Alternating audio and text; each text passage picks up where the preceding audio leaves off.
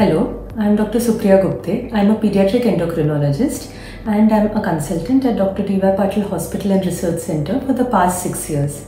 Just like adults, children can also suffer from hormonal issues.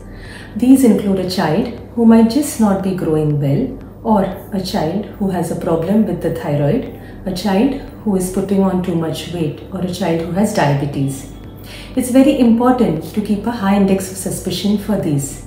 So, a child who is not growing well might have a problem with the thyroid or the growth hormone. A child who is either entering into puberty early, meaning a 6 to 8 year old girl who is having early pubertal changes, needs to be seen. Similarly, a teenager between 14 to 15 years who does not have any changes of puberty also needs to be evaluated.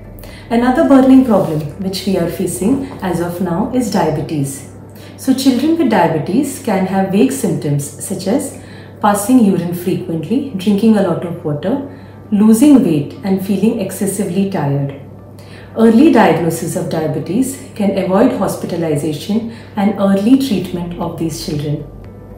We have a pediatric endocrine OPD at Dr. D.Y. Patil Hospital for the past six years. It is there on every Monday and Thursday. We are helping these children in controlling their hormonal conditions. We also have around 20 children with growth hormone deficiency who are receiving growth hormone free under the Mahatma Phule Yojana. So I would urge you that if you have a concern, please do visit us. Thank you.